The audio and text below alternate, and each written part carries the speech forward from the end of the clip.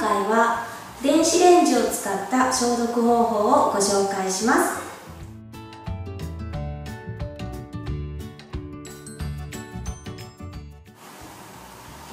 ケースの中身を出します。まずはじめにこちらのケースを開けて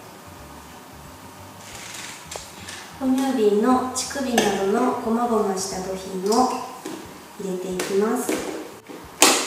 次に付属の部品をつけて哺乳瓶を入れていきます。哺乳瓶を入れて入れた後に水を入れます。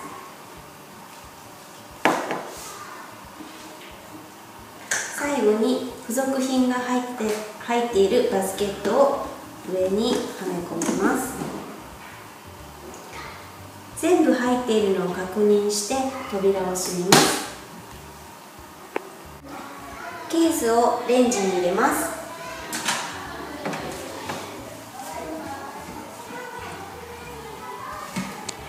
時間は500ワットから700ワットで5分間します。